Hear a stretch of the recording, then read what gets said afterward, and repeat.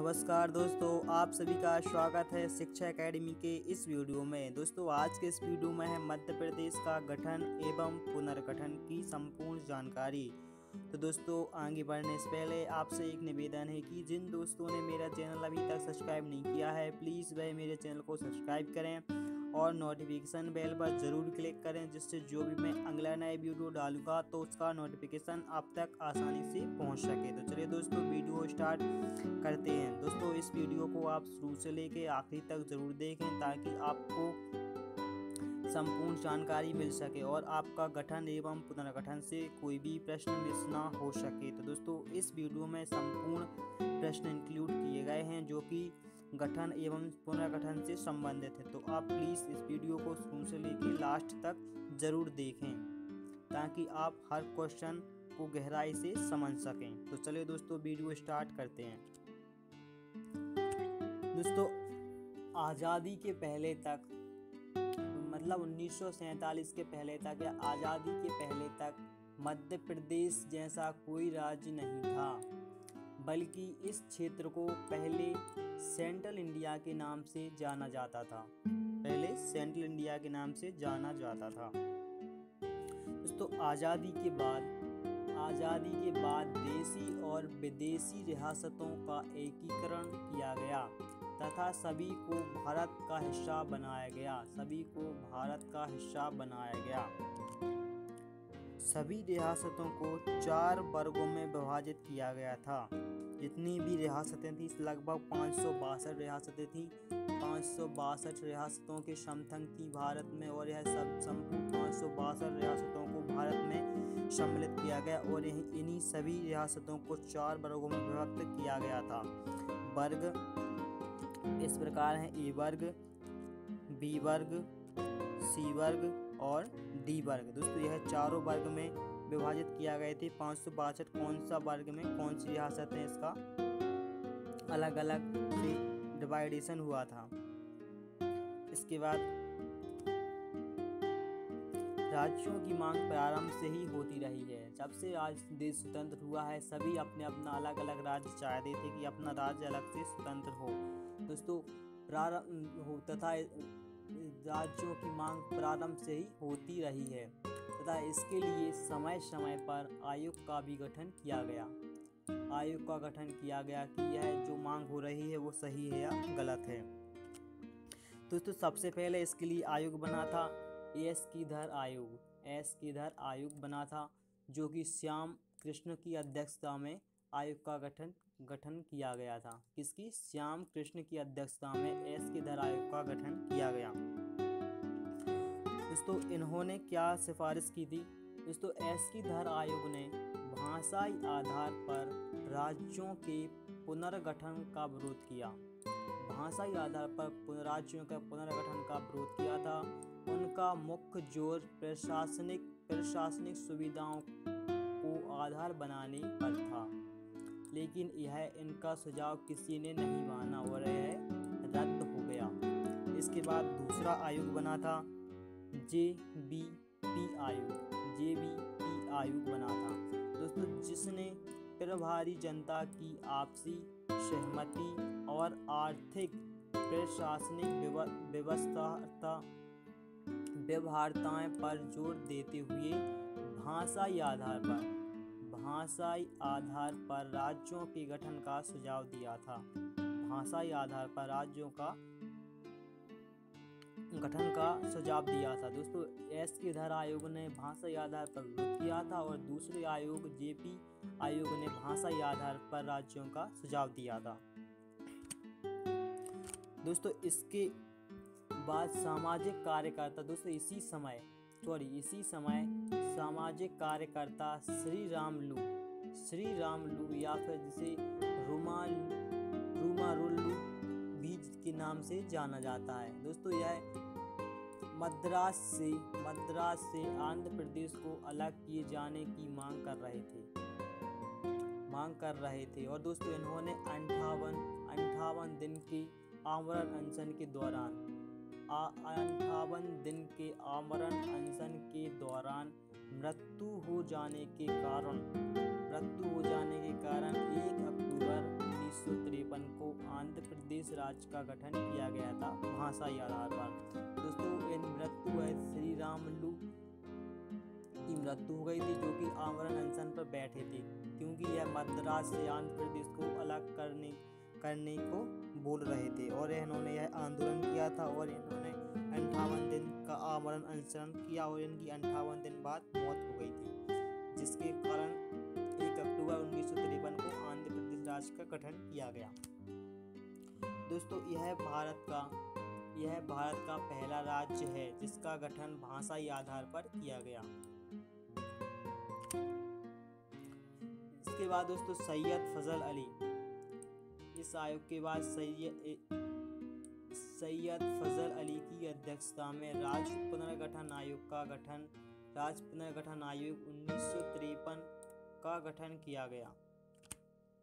दोस्तों, इसके अध्यक्ष, राज्य पुनर्गठन आयोग के अध्यक्ष, राज्य पुनर्गठन आयोग उन्नीस सौ तिरपन के अध्यक्ष थे। अध्यक्ष थे सैयद सैयद फजल अली और दो अन्य सदस्य थे। एक हृदयनाथ उर्जू और दूसरे थे के एम पणिकर। राज्य पुनर्गठन आयोग ने अपनी रिपोर्ट 1955 में सरकार को सौंपी तथा भारत में कुल 16 राज्य और 6 केंद्र शासित प्रदेश गठन करने की सिफारिश की।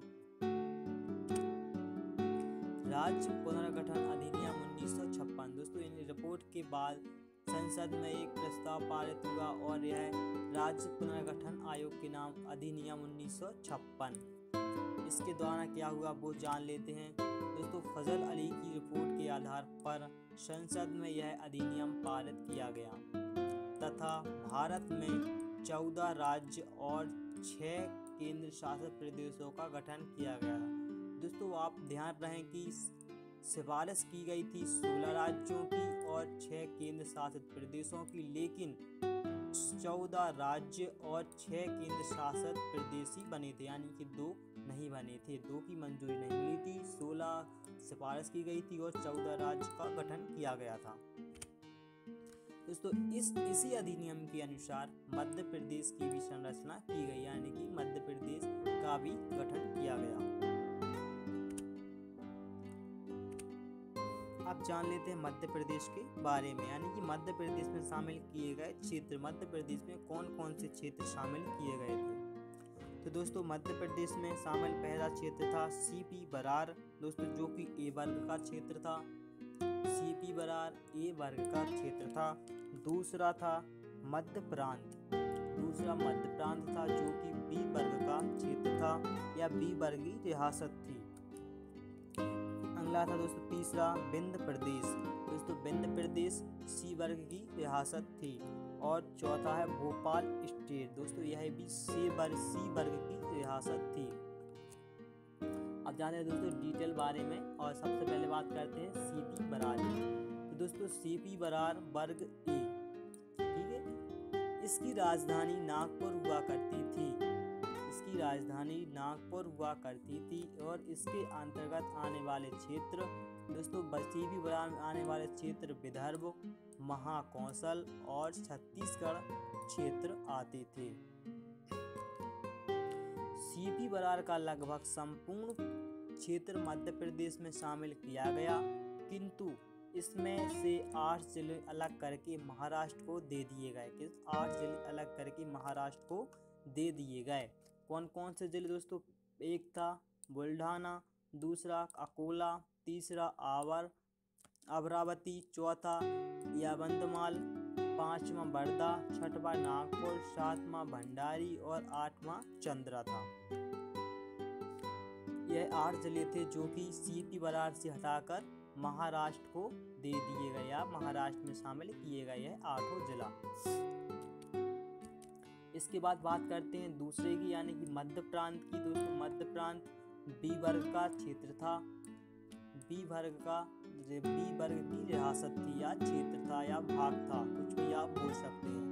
इसकी राजधानी छह माह के लिए, इसकी मध्य प्रांत की राजधानी छह माह के लिए ग्वालियर और छह, अगले छह माह के लिए इंदौर हुआ करती थी। दोस्तों, मध्य प्रदेश के मंदसौर ज़िले मंदसौर ज़िले की भानपुरा तहसील के सुनेल टप्पा गाँव को राजस्थान को दे दिया गया। दोस्तों, मध्य प्रदेश के मध्य मध्य प्रांत के मध्य सॉरी यहाँ मध्य प्रदेश है दोस्तों, मध्य प्रांत है। मध्य प्रांत के मंदसौर ज़िले के भानपुर तहसील के सुनेल टप्पा गाँव राजस्थान को दे दिया गया। बदले में राजस्थान के कोटा ज़िले की सरोज तहसील, राजस्थान की सरोज तहसील को मध्य प्रदेश के विदिशा ज़िले में शामिल किया गया था। दोस्तों, यह सब पहले तो यह मध्य प्रदेश के क्या दिया गया था? मध्य प्रदेश के मंदसौर ज़िले की के भानपुर तहसील भानपुर तहसील के सुनेल टप्पा सुनेल टप्पा गाँव राजस्थान को दे दिया गया और इसके बदले में राजस्थान के कोटा ज़िले की सरोज तहसील को मध्य प्रदेश की विदिशा ज़िले में शामिल किया गया।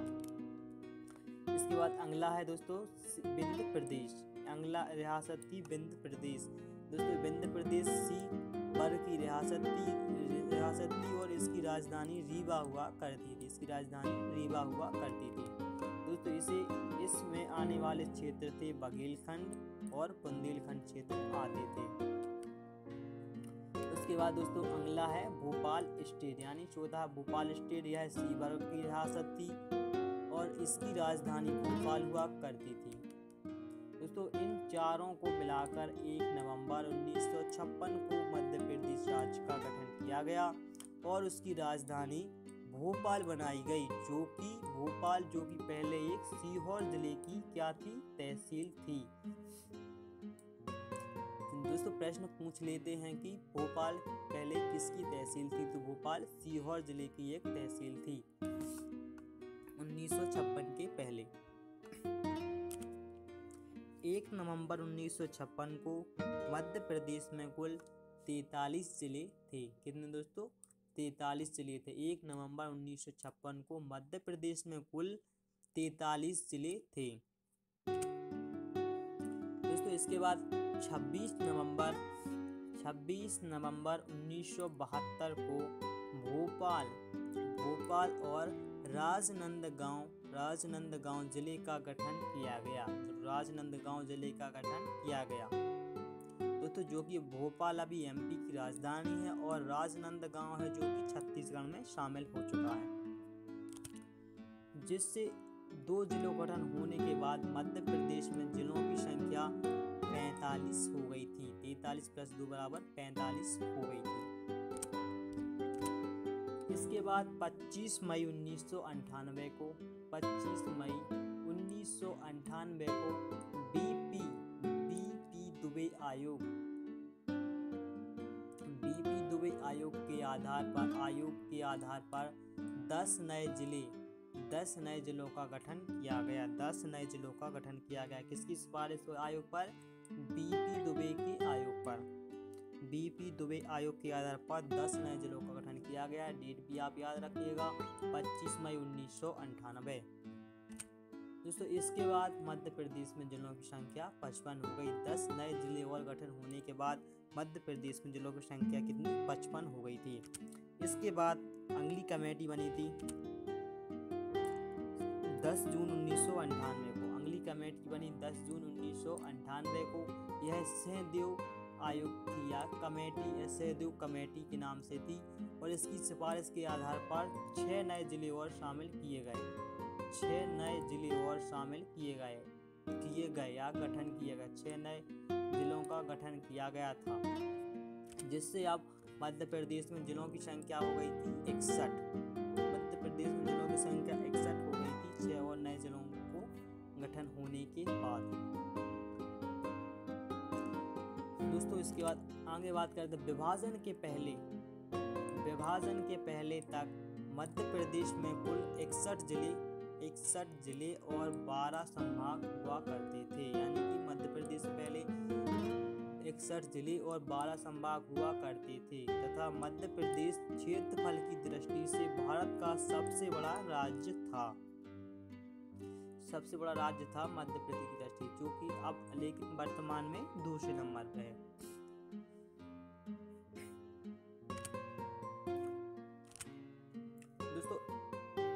नवंबर 2000 को, एक नवंबर 2000 को मध्य प्रदेश के, मध्य प्रदेश के क्षेत्रफल का, मध्य प्रदेश के क्षेत्रफल का तीस पॉइंट सैतालीस परसेंट, तीस पॉइंट सैतालीस परसेंट भाग छत्तीसगढ़ राज्य में चला गया।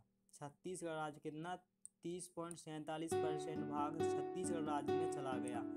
तथा मध्य प्रदेश के 16 ज़िले 16 ज़िले और तीन संभाग 16 ज़िले और तीन संभाग अलग करके छत्तीसगढ़ को छत्तीसगढ़ को भारत का छब्बीसवा नया राज्य बनाया गया। कब दोस्तों? एक नवंबर 2000 को मध्य प्रदेश के क्षेत्रफल का तीस पॉइंट सैतालीस परसेंट भाग छत्तीसगढ़ राज्य में चला गया तथा मध्य प्रदेश के 16 ज़िले और संभाग अलग करके छत्तीसगढ़ को भारत का छब्बीसवा राज्य बनाया गया। मध्य प्रदेश का पुनर्गठन होने के बाद, मध्य प्रदेश का पुनर्गठन होने के बाद जिलों की संख्या 45 तथा सम नौ संभाग शेष बचे थे। मध्य प्रदेश में जिलों की संख्या 45 बचे थे और संभाग नौ बचे थे। दोस्तों, यह जो पुनर्गठन हुआ था इसे संसद में चौरासी व संविधान संशोधन अधिनियम 2002 पारित किया गया था, जिसके द्वारा यह छत्तीसगढ़ का गठन हुआ। चौरासी संविधान संशोधन द्वारा छत्तीसगढ़ राज्य का गठन किया गया या मध्य प्रदेश का पुनर्गठन किया गया। कौन से? चौरासी व संविधान संशोधन अधिनियम 2000 यह संसद में पारित हुआ था। उसके बाद ही छत्तीसगढ़ राज्य का गठन किया गया। इसके बाद दोस्तों 2003 में 2003 में तीन नए जिलों का गठन किया गया था। मध्य प्रदेश में तीन नए जिलों का गठन किया गया। पहला जिला था गुना गुना से अलग करके अशोकनगर जिला बनाया गया। गुना से अलग करके अशोकनगर जिला बनाया गया था। दूसरा था शहडोल से, शहडोल ज़िले से अलग करके अनूपपुर जिला बनाया गया था। शहडोल से अलग करके अनूपपुर जिला बनाया गया और तीसरा था खंडवा से अलग करके, खंडवा से अलग करके बुरहानपुर जिला बनाया गया था। कब? 2003 में 2003 में तीन नए जिलों जिलों का गठन किया गया था। जिससे, जिसमें, जिसके बाद जिसके बाद यानी कि तीन जिलों के गठन के बाद मध्य प्रदेश में जिलों की संख्या 45 से बढ़ के 48 हो गई। इसके बाद 2008 में दो नए जिलों का भी गठन किया गया। 2008 में दो नए जिलों का गठन किया गया। पहला जिला था 17 मई 2008 को। 17 पहले का गठन 17 मई 2008 को झाबुआ से अलग करके अलीराजपुर जिला बनाया गया। यहाँ डेट भी याद रखिएगा आप 27 मई 2008 को। तो ये दोस्तों यहाँ पर 28 2008 है। 2008 को 2008 को झाबुआ से अलग करके अलीराजपुर जिला बनाया गया। इसके अगला 24 मई 2008 24 मई 2008 को सीधी ज़िले से अलग करके सिंगरौली जिला बनाया गया। सिंगरौली जिला बनाया गया था किसको? सीधी ज़िले से अलग करके सन 24 मई 2008 तो इसके बाद जिलों की संख्या 48 से बढ़ के 50 हो गई थी। तो 15 अगस्त 15 अगस्त 2013 को शाजापुर से अलग करके एक और एक और नया जिला बनाया गया, जिसका नाम था आगर मालवा आगर मालवा यह दोस्तों शाजापुर ज़िले से अलग करके आगर मालवा का गठन किया गया था। दोस्तों, यह मध्य प्रदेश का बनने वाला इक्यानवा जिला था, इक्यानवा जिला था, जो कि या फिर सबसे नवीन जिला कौन सा है दोस्तों? आगर मालवा यह शाजापुर से अलग करके बनाया गया था। दोस्तों, वर्तमान में मध्य प्रदेश में दस संभाग और इक्यावन ज़िले शामिल हैं। दस संभाग और इक्यावन ज़िले शामिल हैं। तो दोस्तों यह संपूर्ण जानकारी अब यहीं पर समाप्त होती है। मध्य प्रदेश का राज्य एवं पुनर्गठन के बारे में मैंने आपको बताया। यदि आपको यह जानकारी पसंद आई हो या फिर आपको तो प्लीज़ लाइक करें, शेयर करें और दोस्तों सब्सक्राइब करना ना भूलें। दोस्तों, यदि आपको शेयर भी करना चाहें तो आप अपने फ्रेंडों को ज़रूर शेयर करें ताकि जो भी जानकारी है इस वीडियो में, वो आपके दोस्तों तक भी पहुँच सके। दोस्तों, चलते हैं, मिलते हैं अगले नेक्स्ट वीडियो में। तब तक के लिए दोस्तों बाय